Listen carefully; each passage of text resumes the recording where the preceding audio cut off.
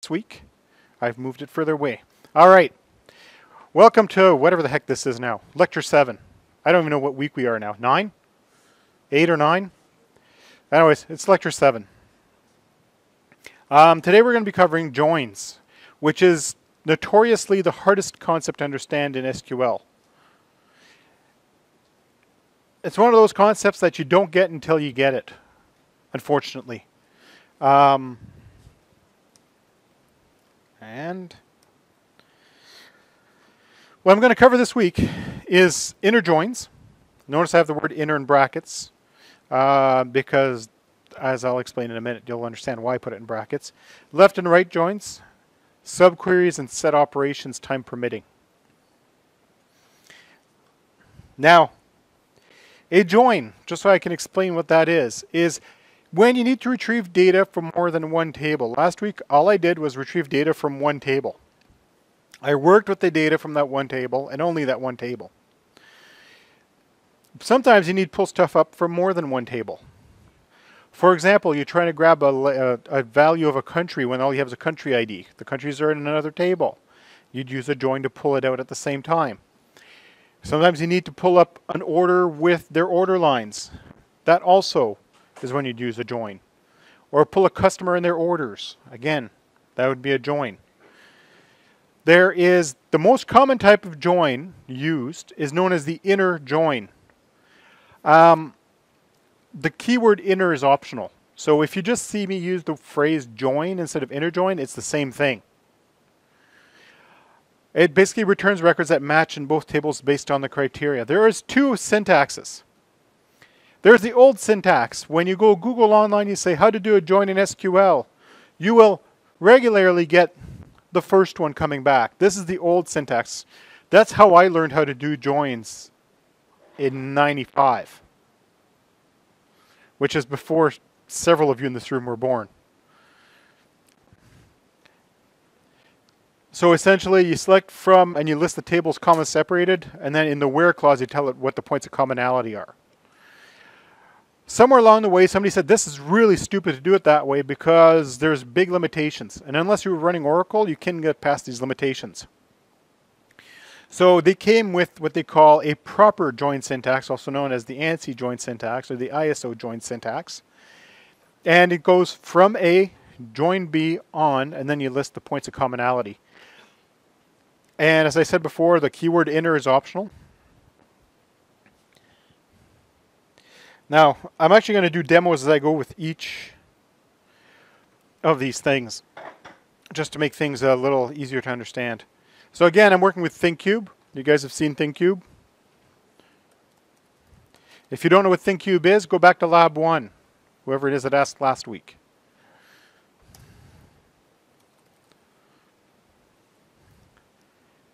That's so tight. So, Select star from customers. We've experienced this already. That's not too complex. But let's say I want to go, as when you look at the customers, and you'll see that the state province ID is just a number because it's a reference table. If I were to go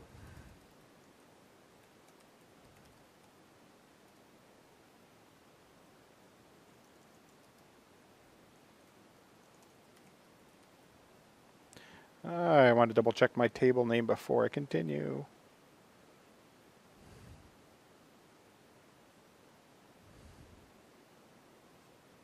Yeah, it's state provinces.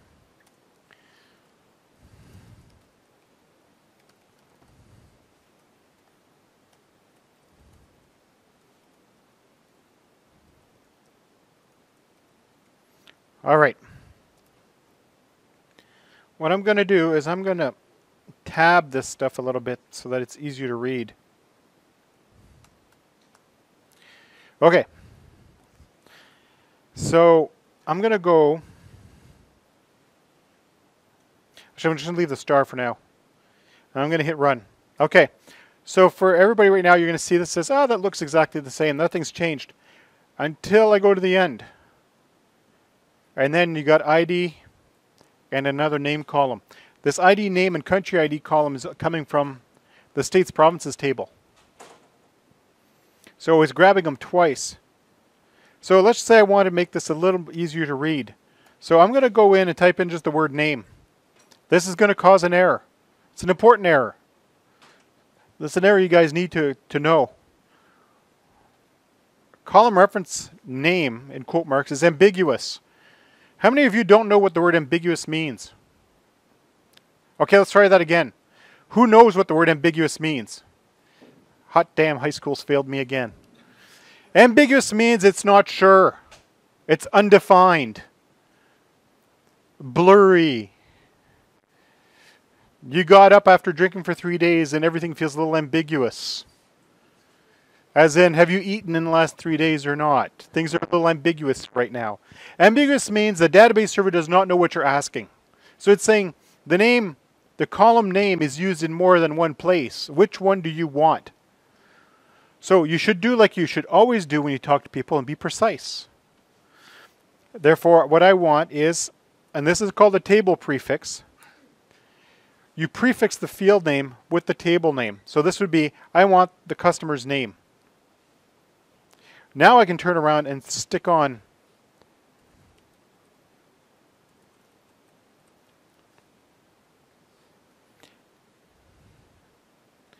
And now we have, God, that pop-up's annoying. Now we have name and name twice. Now we don't know which one's the right name. Remember last week and I talked about al aliases? Dude, shh.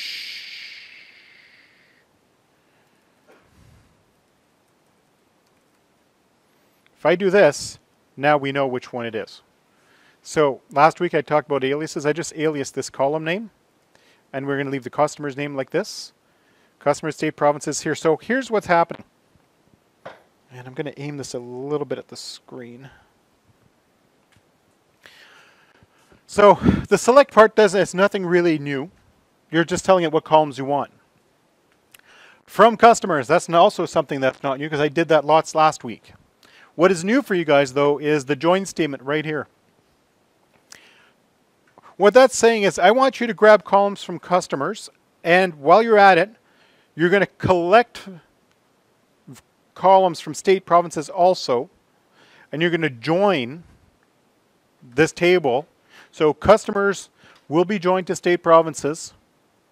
And then the on clause here, you define the points of commonality, as in what do these two tables have in common? And state provinces ID is a primary key for state provinces, right? State provinces dot ID is the primary key state provinces. And in customers, I've got a foreign key called state province ID. So state province ID, the values in here must exist in here. So when you do a join, it say it's going to grab everything from customers and everything from state provinces where these things match. So for every row of customers, it's going to find a matching record in state province and retrieve values for that match. Now, when you do an inner join, which this is what this is, it only return columns where the values match on both sides. So if you've got state provinces that aren't assigned to customers, those won't show. If you have customers that have state that don't have a state province ID defined, they also will not show. They'll only show the ones that match up. Now, a question I get from students sometimes is, how many joins am I allowed to have? As many as you want is the answer. So let's say I want to go and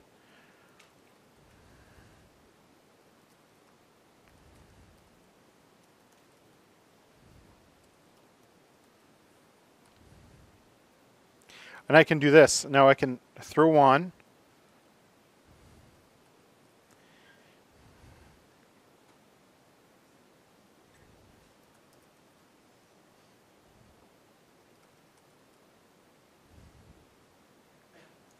Helps if you know how to spell. And I'm going to run this again. Blip. So now we have a person's name. We know what political division they're from, and we know what country they're in.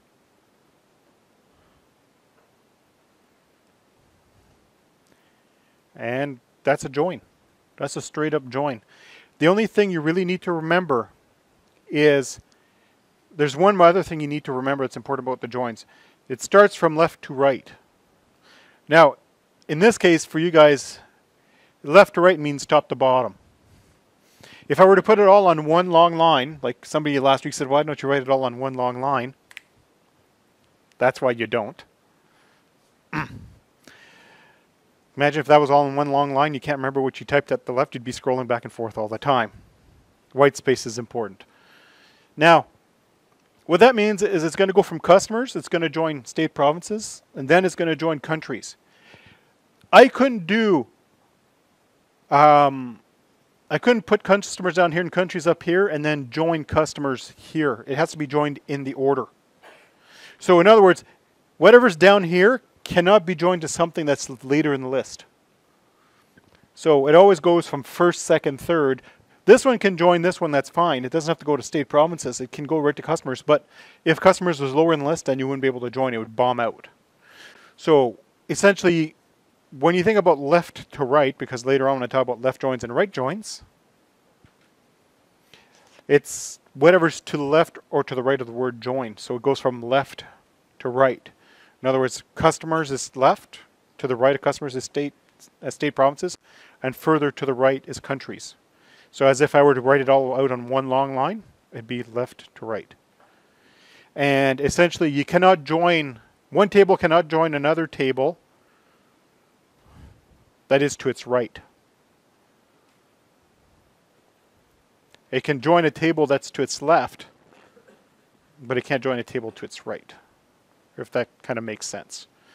Uh, you'll you'll get the error messages when you try. Um,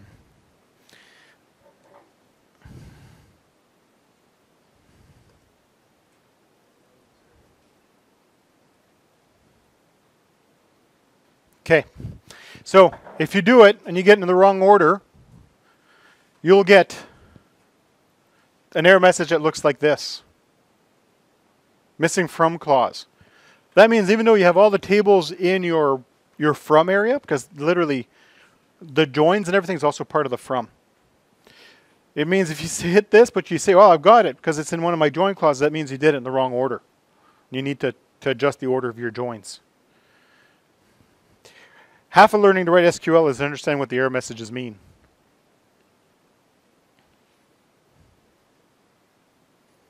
And now it's back. Uh, huh? Okay, now it's back. It runs what's highlighted. All right, so that is the basic join. It's the join that's going to that's used 98% of the time, 99% of the time. Um, pretty much everything that has to do with database work is this kind of join. There is other joins, which I'll talk about in a minute. But essentially that's the major parts of what involved in a join is you have to have the from, the first table that you that's included in the query, and any other tables you're joining have to come in afterwards. And they go from left to right, and you have to join on the points of commonality. Now, some people will say, well, why can't I use the old syntax as opposed to the new syntax? Once you start doing left joins and right joins, which I'm going to be discussing in a few moments, the old syntax doesn't allow for left joins and right joins. That's why. Like, unless you're running Oracle, then you have this weird asterisk thing where you're moving an asterisk somewhere along the where clause to tell it if it's a left join or a right join. And I don't remember what the syntax is for it off the top of my head. It's been 20 something years, but it is terrible. Okay.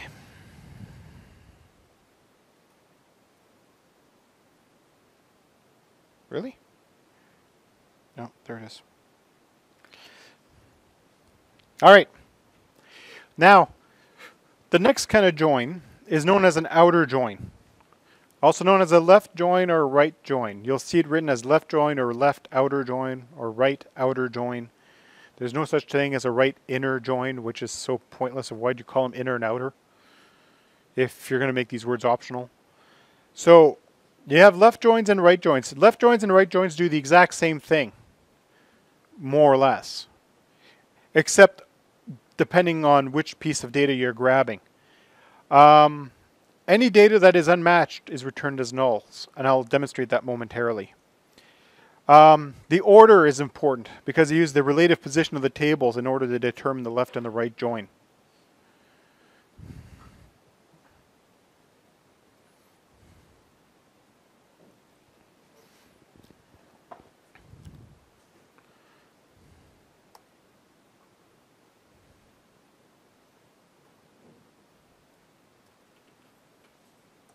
I don't want to lose my query.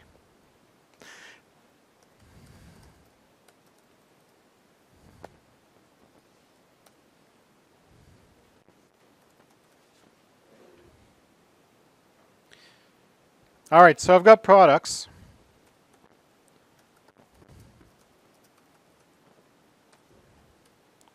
I've got versions.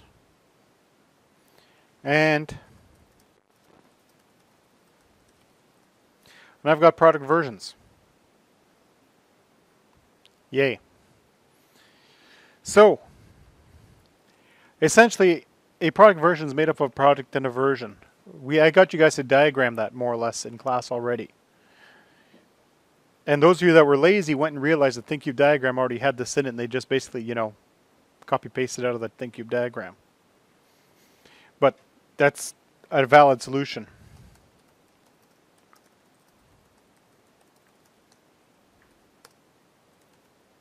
Actually, we'll go the other way around.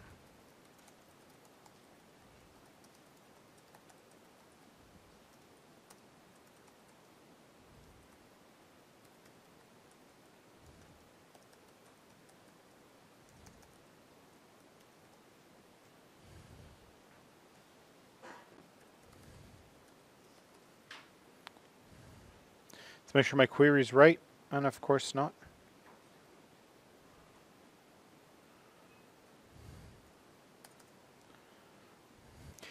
What's the first rule of developing good software? Write a little bit, then run it. Fix that, then add a little more, then run it. All right, so I've created my first true join. Now, if I do Left join. Now, actually, I don't remember how many rows were returned. 100 rows. Now I have 108 rows. Now some of you might be going, okay. If I were to scroll right to the end, hello, there we go. So what's happening is I'm telling it, I want everything from products, left join product versions. This is where things get a little difficult for people to understand when the whole left join, right join thing happens. When you do a left join, it's saying, I want absolutely everything from products and any matches you have from product versions. That's what left join means. If you do not have a join, return null values in its place. And thus you can see I got a, a, a whole whack of nulls actually eight rows, eight rows of nulls at the end. And that is a left join. It's not a mystery. It's just understanding what it's about to do. So if I take off the left join, just so I can bring it back the way it was, 100 rows returned. If I go right to the end, you'll see that there are no null columns. If I put the, null, the left join back in, I get 108 rows back. And I got a bunch of nulls down here. Now, the other thing you'll notice is it will return everything that has a match first and any nulls at the end. So that's a little quirk. All database servers pretty much do that, even MySQL, and it's kind of special as it is, but even MySQL is able to achieve that capability of giving you the nulls at the end. Now, the right join does the exact same thing, but the other way around. So if I did select star from products and did a right join from product versions, it would return everything from product versions and nulls from products. So same behavior, just flips back and forth. It's not that complex. Uh, pretty much any left join can be written as a right join by flipping the tables around. Now, here's a thought experiment. Let's just say I want to know only the products that don't have a match in product version. How would you go about it?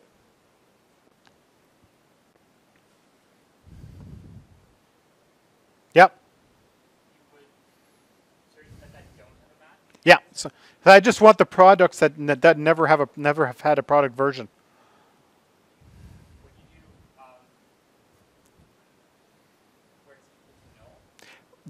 Close. It's not equal because nothing can ever be equal to null, right? Yes. That's actually it. Sometimes it takes groups longer than this to figure that out. So if I want to go product versions dot id is null. And now I have my eight never before assigned products. So a lot of people say, well, what's the point of a left and a right join? They're, they're really good to find out a bunch of things. Um, you can use them to find out products that haven't sold recently. If I were to include like a where clause on this with a date range saying, in the last 30 days, have any of this, and then you'd have to do a bunch of joins going back up the tree, right? You'd go products, product versions, product order lines. But if you say, are there any order lines, and give me any products that have not had a single order line in the last 30 days, you could write that query. Or you could say, uh, which products in the last six months have only sold a handful? Maybe we don't even need to keep selling this because it's not actually making us any money. We got packaging for it, we're paying for shipping for it, and it's not selling. Why bother sell it? Pull it. That's what you use these kinds of queries for, is to find that kind of stuff. They're really handy. It's not something you use on a regular basis. I might use them two, three times a year. But I'm so glad they exist those two or three times a year. Alternatively, my option would be to actually run, um, write an application and insert scripting language here to retrieve records and loop through them until I find uh, unmatched records. That would suck. It'd be a challenge. So these left joins and right joins are significantly better. And if I were to write an application to do this search, I can guarantee it would not run in 104 milliseconds. It would take, you know, a couple seconds to run. It's more efficient. Let the database do what it's good at. Okay, so there's one more kind of join, which I don't even have a slide for, and it's known as a full join. It's also known as a Cartesian join. Do you guys remember Cartesian math operations from high school? Vaguely? When you're working with data sets? Maybe? It's vaguely? Okay. The very best example of a Cartesian operation, I'm actually going to do it on the board, is this. We have a deck of cards, right? A deck of cards has values 1 to 10, Jack, Queen, King or I should say ace to 10, depending how you want to argue that first card, right? Uh, they also have suites of, you have uh, clubs and spades, hearts, diamonds, right? So, how many cards are there in a deck of cards? The answer is usually 52. How do you get 52? Because you take each of these cards and you do one of each of these. So what a Cartesian join does is it returns a match of every column of every row to every other row. Therefore, it'll return that. Then it'll take the 2 and do that. And it basically returns a matrix of all the combinations of all the values in between those tables. Now, all I'm working with is 1 to 10 plus 3, which is 13, and 4. That's 52, right? Now, if you had 100 and say 80 on this side, what you're going to have is 100 times 80 which is 800 rows return. The to dem demonstrate to you guys the impact of a Cartesian join. Yeah.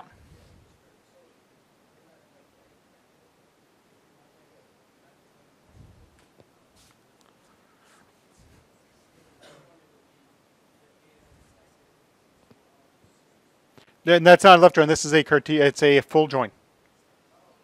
Yeah, no, a left join, there's nothing, no, there's no point, it's a commonality. With a, with a Cartesian join, you can join two tables that have nothing in common, which I'm about to demonstrate. I'll do it with tables that have something in common, but I'll demonstrate what it looks like. Uh, the right join does the opposite of the left join. So a, a, a regular inner join, all both sides have to match. A left join gives you everything from the left and even matches from the right. If you do a right join, it gives you anything from the right with possible matches from the left. So I'm going to do a, a Cartesian join like this. Some of you will experience this because you're going to make this mistake. So, how many products are there? 58. We already identified that there was 100 product versions. And I got a typo. Oh, come on.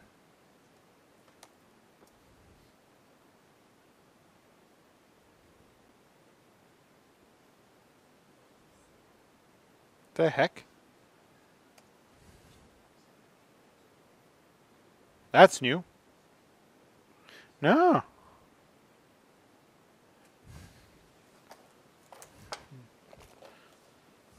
Never seen that error message before. I think my install of Postgres may have Cartesian joins turned off. because they're dangerous.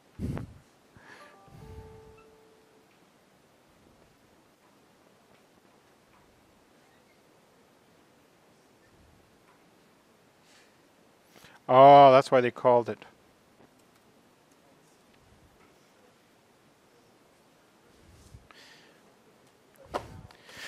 Postgres calls it a cross join.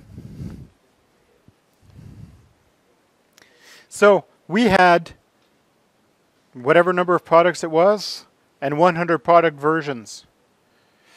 There is now, how many rows did that return? I didn't notice. 5,800 rows. So there was, so it basically has a match of every product and every product matching product version. So 5,800 rows returned for that join because it's literally matching everything to everything else. Is it useful?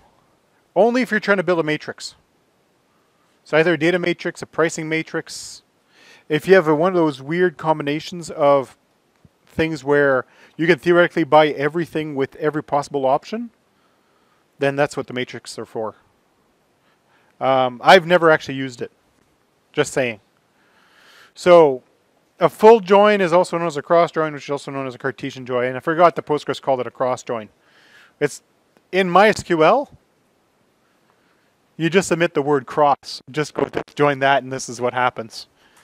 And unfortunately, I've been beating my head with MySQL a bit for the last couple of weeks. Okay.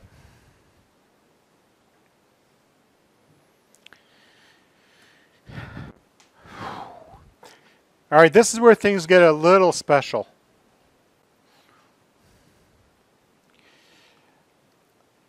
Subqueries. Subqueries are also known as embedded queries. They are a query within a query. They're really handy. Um, but it's also like putting a drywall in a drywall screw with a sledgehammer sometimes. There is a job that's better for it often. Um, for the longest time, we didn't have those in MySQL. MySQL didn't have these at all. And that's why everybody made fun of MySQL. Then MySQL got them, and then they chose to ignore other functionality that was just as useful. So subqueries are embedded queries. They are run before the outer query. They can be used. They can be used anywhere in the field selection list, or in the where clause, or even as a table. And you put them in brackets.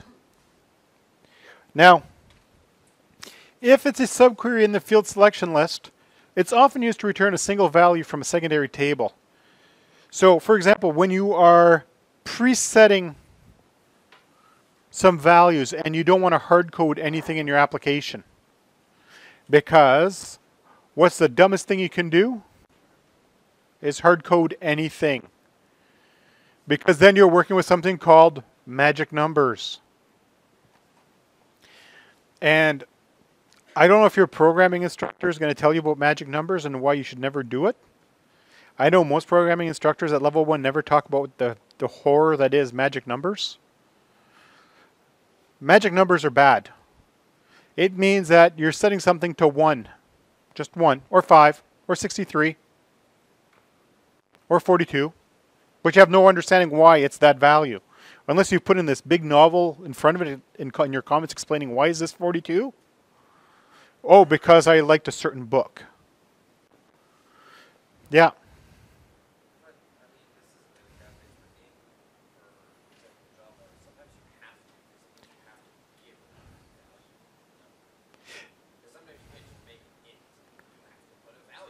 No, no, I know. And yes, but normally for that kind of stuff, you're going to use, I don't know what they're called in Java, but in other programming languages call them, call them constants. And you'll have a header file. In C, for example, you have a header file where you can predefine all these values in a contained environment. And everywhere else, you refer to the name of the constant, not the number. So instead of in the, the application, 26 places have the value of 6, and you have no why, idea why it's 6. But on the other hand, it could be uh, a constant called max loop value, and therefore you change it in the header, and then the entire application gets the new change. Those are magic numbers. There's still numbers being defined somewhere, but you don't use them everywhere else. With databases, magic numbers are when you assume that certain primary keys will exist. As in, let's say you have a table called status, and you have a status type called new, and you assume that new is always going to be 1. And then the doorknob in shipping goes and accidentally disables new and realizes he made a mistake. So instead of re-enabling it, because he doesn't have permissions to re-enable something he deleted, he goes and creates a new version of new. Therefore, the next order that comes in that is supposed to be defaulting to 1 is now defaulting to not able to be added because it doesn't know the meaning of new anymore. On the other hand, if you did something like this, and I had no, I have a typo. There should be another quote mark right here. If I go select ID from status where name's equal to new, so regardless of what the primary key, the actual real number is, as long as it can retrieve, retrieve the ID of a record that matches the word new, you'll always have a value. Even if you nuke it and you recreate it, the new rows are still going to have this new value. It's always going to be a valid value coming out because it's going to give you a value that exists in a table somewhere at that point in time. So that's so what it does is it'll run the inner query completely, return the results to the outer query, and then the outer query executes. Ria, you're being annoying. I called you out by name. That's what you get when you finally remember your name. You get called out. Okay. Item number two. Subquery in the where clause. This is the most common use for subqueries. That, let me rephrase that. This is the most common use for subqueries for people that like using a sledgehammer to put in drywall screws. It has its place in the world. And some people understand this better than joins because you can replace a lot of joins with this. The same structure. However, it's a little more expensive to run than a join. Why? Because it has to run two full sets of queries at a minimum. So if I go, it's most commonly used with the in clause because you're going to assume that more than one value is being returned. And if we remember, what does the in clause do? It accepts a list of possible values. So if I go select ID from product versions where active is equal to true, it's going to give me every product version that is currently active. It's going to build a list for me in memory. And then it's going to take this list. It's going to pass it to the outer query as part of this in. So it'll take this query, basically turned it into um, comma delimited value, and I'm really being simplistic here by saying that, but basically turns it into a comma delimited list in memory, and then passes it to the outer query, and the outer query operates against it. And it's like magic. Poof, it just happens. Yes?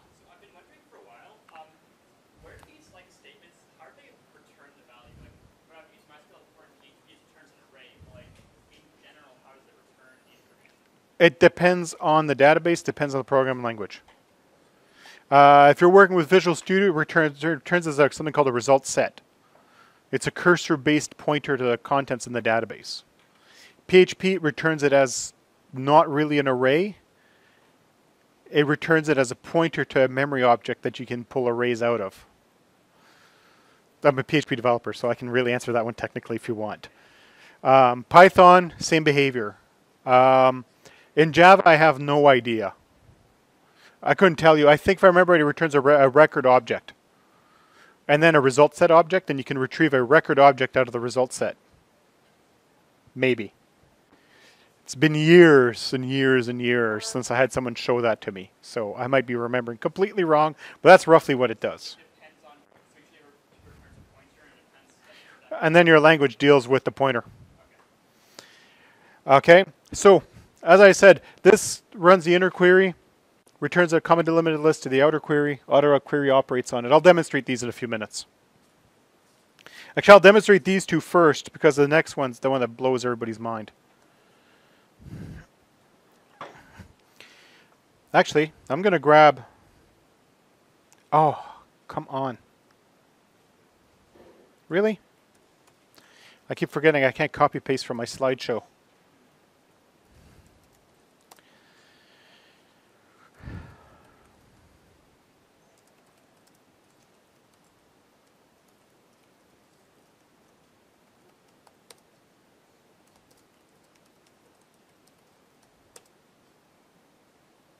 Okay, I'll start with this one. This should return absolutely everything. And as you can see, it took 385 milliseconds uh, because it returned 114,000 rows. Now, if I were to go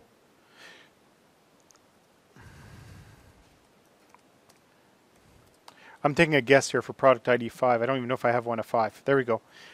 2,297 rows. So if I were to do this, it'll return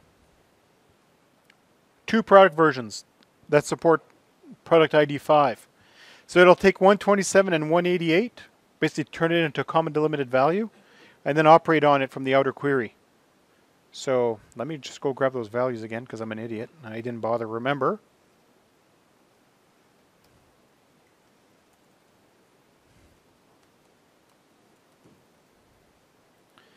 So this does the same thing as this. But if you notice there's a speed difference between the two. If I do this, 147 milliseconds, 182, 172, 152,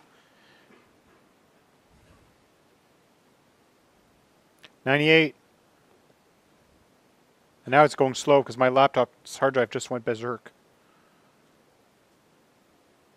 But as you can see, it's still slightly faster, theoretically. I don't know why it's so slow. Anyways, now it's trying to make a liar out of me.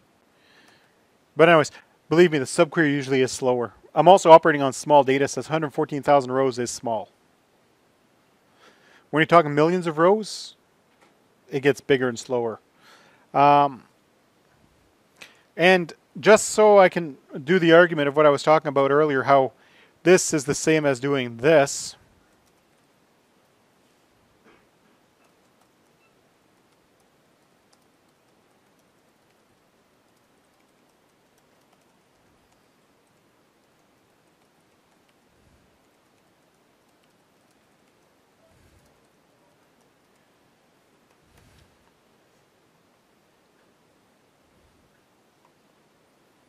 Same deal. So this brings me to the biggest point about SQL. There's usually more than one way to skin that cat. All three queries do the exact same thing. Except this one involves magic numbers. As in, you know that 127 and 188 match product 5. And honestly, even this is bad. I should be doing another dive one more layer in to get that product version ID. But essentially, this one here involves more magic than this one, let's just say. And this is the same, but using a join as the first one. They achieve the same goal. They'll do roughly the same thing. Like I said, some people like using subqueries. And on this data set, it's not that bad. Um, I used to have a database of all the barcodes in the world with with uh, with products and corporations that own each of the barcodes. It was close to 22 million rows. That's when you'd notice the difference on this. It'd be painful. So that's is what this uh, basically put. This subquery does this. So it retrieves this, returns into these values, and then does the outer operation on it. Now, how many subqueries can you have? As many as you want. You can go in as deep as you want, layer after layer after layer. Is it a good idea to do that? Probably not. If you're going more than one subquery in and you're really doing something that is normal, as in you could achieve it with a join, use a join. It's going to be more understandable for people that come in later. And you're not going to build up that extra overhead of diving in.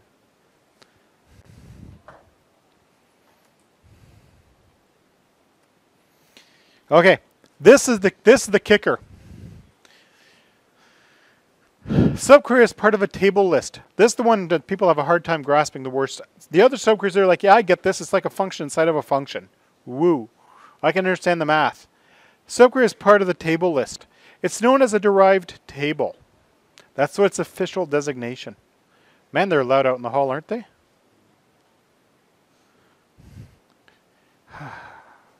I'm trying to gather my patience before I go outside and say something rude.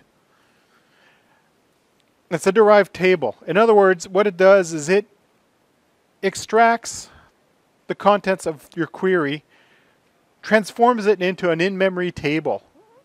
So this table never exists. It's not written hard anywhere. It exists only in memory for the lifetime of the query. So it literally builds a table of memory and then destroys it if you don't have a memory leak. It must have an alias. If you do not have an alias, it's going to tell you you must have an alias. And that's actually a really long example here. I'm actually going to go back to ThinkCube and actually give you guys a, a proper example of what this looks like.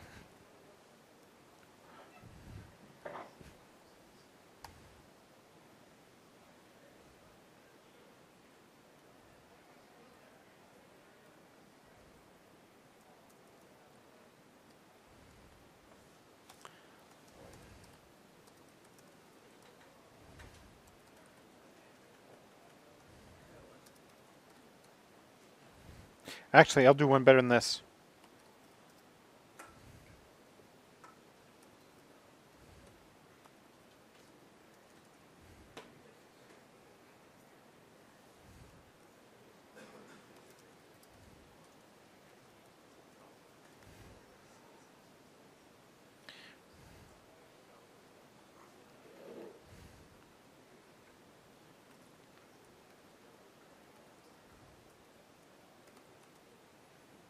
Okay, so this is something I showed you guys last week, right? Which was an aggregate function. I just added everything up. Now,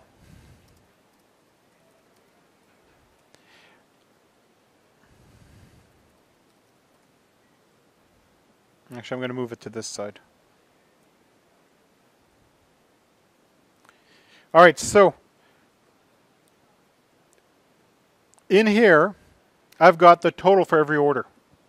so you know when you get a bill and it says here's your subtotal? That's what this is doing. It's basically adding up every line item for every order, added up by order. So it's totaled up by order. And as you can see, the order numbers go up in order, and there's our magic numbers. Now, remember I said you can't do this? Let's say I want to know what the average order total is. So I, I got, you know, 40,000 orders.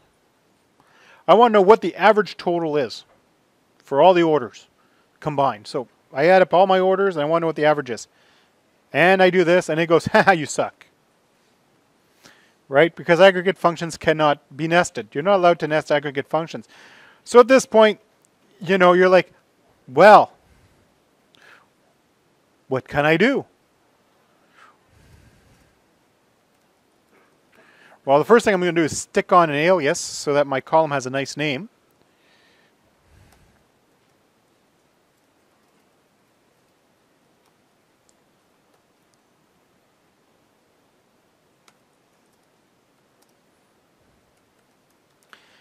All right. Now I'm going to run this. And it's going to look exactly the same. Nothing has changed visually. Concept-wise, much has changed. What it's doing now is I am running this query. It's taking the results of this, taking the results of it, of creating an in-memory table, a temporary table in memory, and it's going to call the table D table. You can call this anything you want.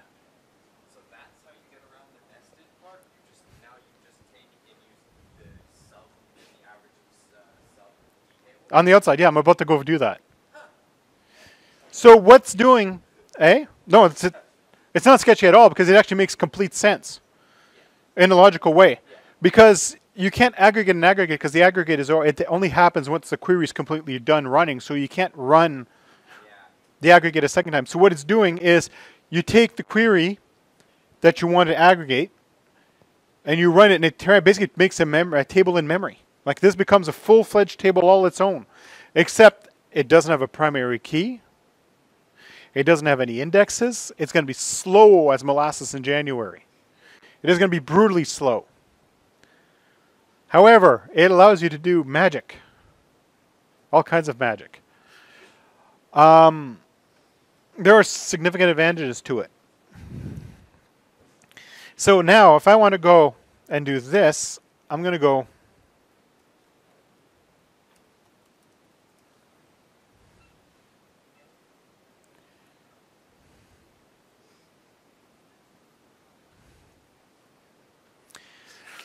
All right, and here's my average order total with lots of decimal places, unrounded. Now, please note, I'm not operating on the extended price out here, I'm operating on the order total because when this gets run and turned into a table in memory, this column is aliased as order total. So literally, this is now called order total as far as the database planner is concerned. So then you can run the average on that. You can do a sum you can do all the math you'd ever want on it because it's now a real value. Because it's already been run. It's run to the outside. If I were to do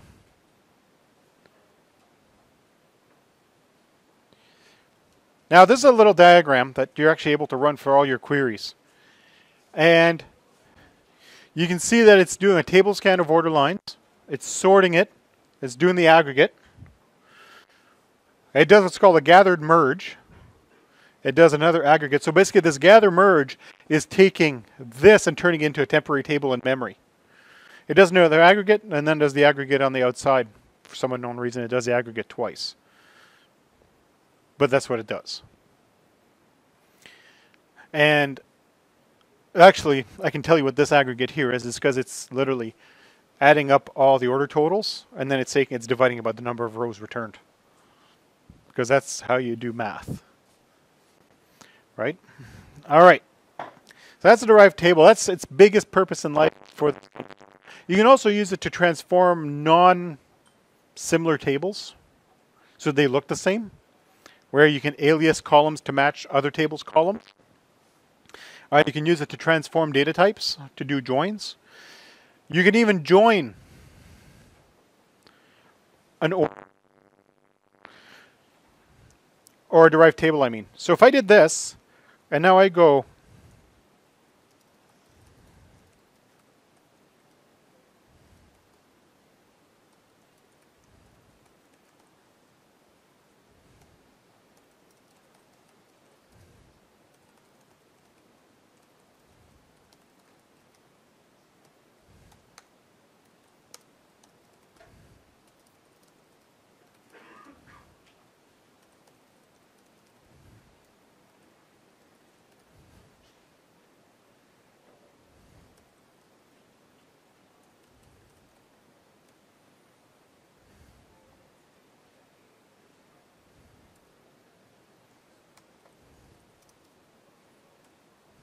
Hope I got this right.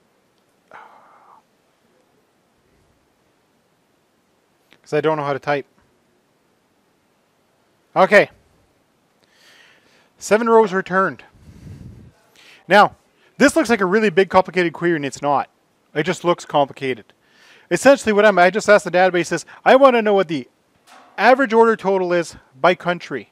So I can figure out which country people spend the most money in. And as you can see, you know, the numbers are all fairly close to each other. But you are able to do it. Now here's what's happening inside this query. And this is basically an example of pretty much everything I've taught you guys in the last two days. I'm going to copy paste it in a minute. Okay, so here's the first thing that's happening is it's going to do the it's going to create the derived table because it always does the brackets first. It takes this query, turns it into something called dtable. Now, dtable has an order ID. It takes that order ID and we're joining two orders. I've shown you guys how to do a join. So we're kind of joining two orders.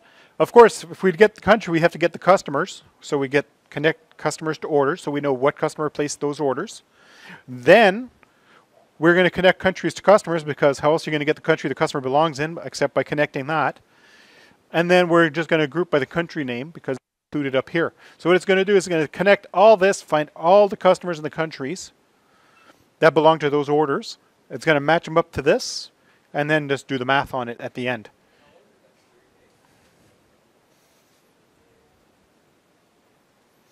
Four hundred fifty milliseconds. How fast do you think it would take a Java application to do the same piece of math? Seconds. 100, it would have to loop through 100,000 rows doing a, a sort count, a sort count sum, and then take those results, loop through every order, and then loop through every customer, and loop through every country, and then summarize it based on those criteria. It would, uh, I know in PHP this would take me about 300 lines to write. Uh, and it would not run in 450 milliseconds.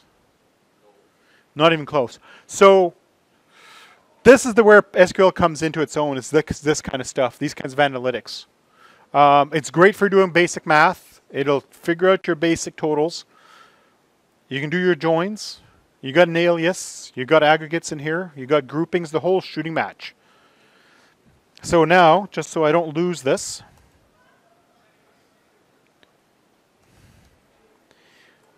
like that. Okay. Time is it? Eight. How many slides I have left? Oh, okay. Um, I don't teach this very much.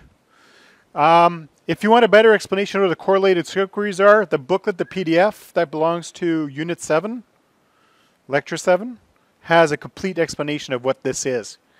A correlated subquery is where the subquery depends on a, something from the outside query. So imagine the inner query actually is magically able to reach outside of itself and say, hey, outside query, I need to have some information so I can run. Now, with the other subqueries so far, each nested subquery is run once. So it runs the inside one, then it runs the outside one. So it runs two queries. When you do a correlated subquery, it runs for every matching row.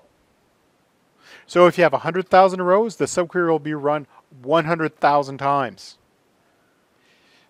There is a place in the world for them. I don't use them very often because they're so expensive. If I'm dealing with 50 rows or 100 rows, correlated subqueries are easy to work with. You're dealing with hundreds of thousands or millions of rows, correlated subqueries are basically painful. You're better off using subqueries. Like true subqueries that are nested instead of correlated. Um, like I said, the booklet explains it in much detail. You just have to be aware that this phrase exists, that correlated subqueries exist. Okay. Set operations is the last topic of the day. And actually, I don't have my database set up to do the demo on it, um, which is fine because my demo was basically the answers to the end of Lab 8, Lab 9. It was the end, the end of the answer of Lab 9. Uh, so it's better off. But if you really want to know what they are, you can always go look at my YouTube channel because they were there in other classes. Um, all right, set operations. Set operations means you're working on two different sets of values from two disparate sources of data. So a union gives you the distinct values from two different queries. So essentially, it's really hard to do with a Venn diagram because the union includes everything but without duplicates. So it'll give you all the unique values without duplicates. The intersect gives you distinct values that exist in both. And except and minus, because depending on which database server you're talking about, they use either the phrase except or minus. It gives you everything in query 1 minus any matches in query 2. Um, I wonder if I do have it set up. Let me go look.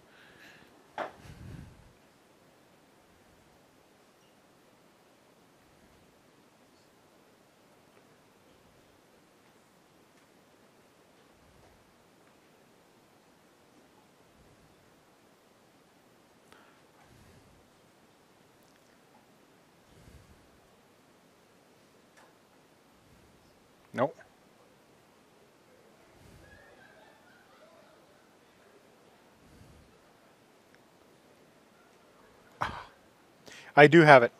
Okay.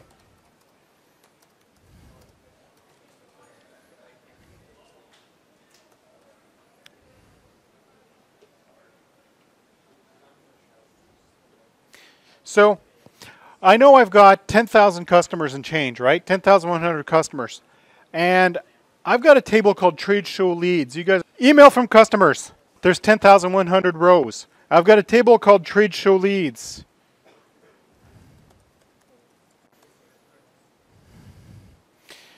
Thirteen hundred rows and change.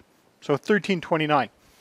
Now, what often happens for big companies or even small companies is they have their list of customers. And, you know, depending on the size of the company, you know, the list is fairly significant. And you also have, they go off to trade shows. And when you go to a trade show, how many of you have been to like uh, a gaming trade show? Or, you know, an anime expo? Okay, that didn't surprise me. Um, you know, you go to a trade show and often you'll be giving a little badge, right? And you can swipe a badge or you tap a badge when you come into each of the booths. Uh, so you, when you go to those kinds of things, you'll tap a badge, show that you're interested in in their products, and they now will add you to a mailing list because, hey, you came to our booth. So you will get a list from the trade show of people that visited your booth. And it, basically, when you tap it, you're agreeing to give your email address to, or your phone number, whatever, to that company. So hypothetically, I have a list of leads that was brought in from a trade show. And I want to send out three sets of mailers. And the first one would be I want to know, I want to send out a mailer to all the customers that I already have in my system saying, thanks for coming to visit us at a trade show. Here, here's a coupon on the next upgrade.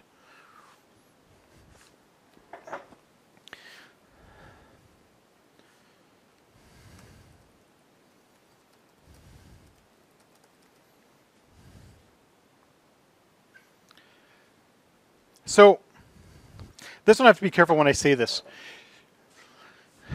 This specific one isn't just the ones that came to the trade show. These are everybody that came to the trade show plus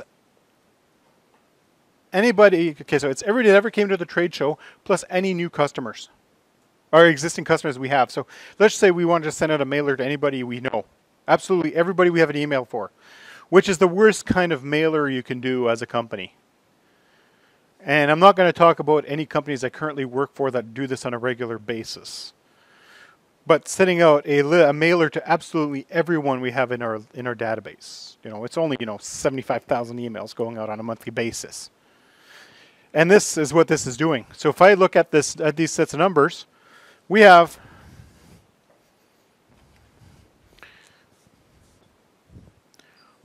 the heck was that again?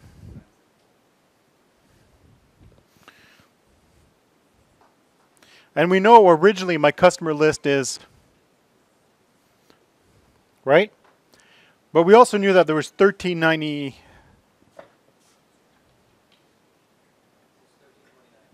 1329, right?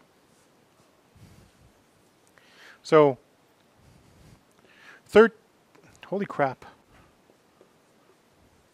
So we know we know we have 1329 leads. We have 10, 100 customers. So what's this magic number? It's basically all of these plus any in here that isn't already in this list. So it's giving me the distinct count, the distinct emails that exist in both tables. So every email from here plus every email from here, but it only keeps the first copy of each one it finds. That's a useful one because you know one of the other than emailing absolutely everybody in your database, what's this, the next worst cardinal sin? Emailing the same guy more than once. Do you ever get the same email from two, three times? And because the A, they screwed up their mailing list, or B, you subscribe with three different email addresses, et cetera, et cetera, et cetera. There's a few different reasons this kind of stuff happens, but sometimes because their mailing list hiccuped and it, they went out more than once. So this is give me everybody in trade show leads plus everybody in customers. So that's great. So now let's say I just want to know anybody who came to our trade show that exists as a customer, but I only want these guys. So that one's called intersect.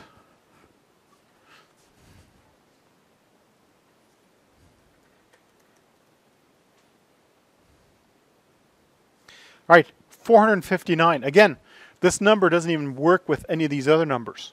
Why? Because there's 459 customers that came to our trade show that were already existing customers. So it's everything that's in trade show leads that has a match in, in customers. So anything in trade show leads that is already an existing record in our customers. And what does, how does it work? It works based on the email address, no other information. That's another useful one also. This is the one we're going to send out the 10% coupon saying, hey, thanks for coming to the trade show. We'll give you 10% off our, your next purchase off our e-store.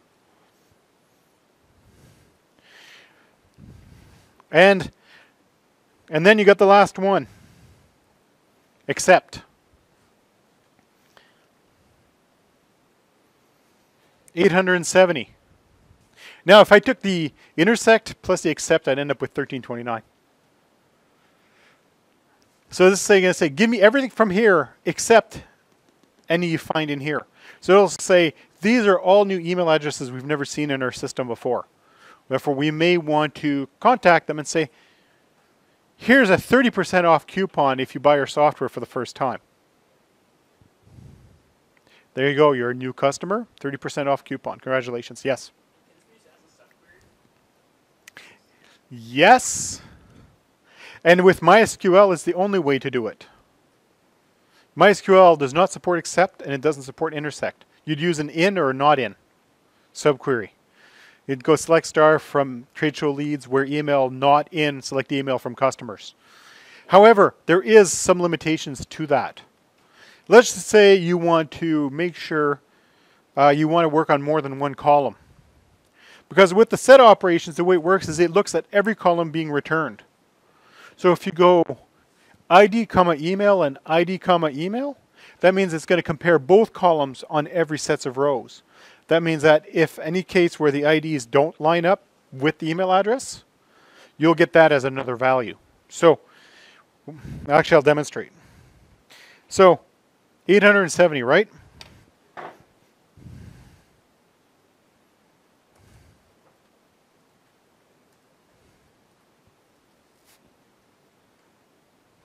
Thirteen twenty nine.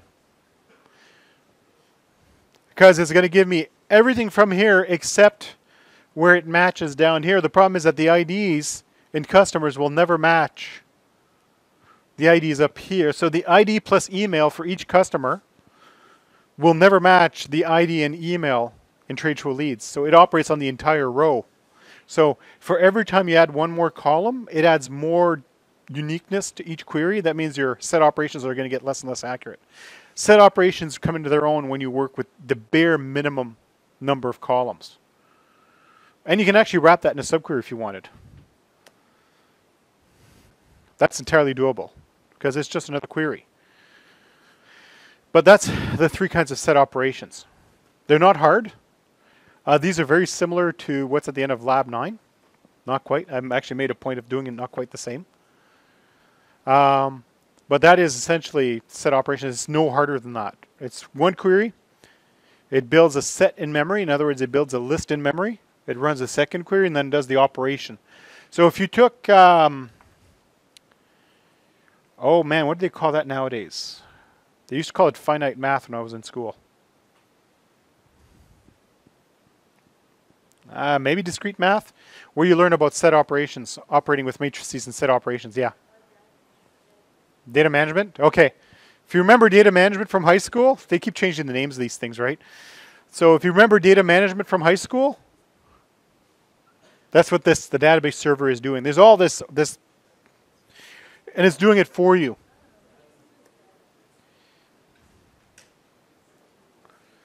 Okay. So here's what it's doing once this disappears. So it does the trade show leads, treats it as a subquery scan. It does the customers, also does a subquery scan. What it's doing is it's scanning the two sets and applying them to memory. And then what it does, it's grabbing each, it's grabbing this one, it's scanning it, it's grabbing the values from here, and it's applying the differences to this. And then it appends the results, and then does the except. It's kind of cool the way it works. Um, the explain tool is really handy sometimes when you don't understand what the query is actually doing. Um, you could teach an entire course on this, on the explanations. Um, but yeah, that's basically set operations 101. It's not much more complicated than that. If you understand what they are,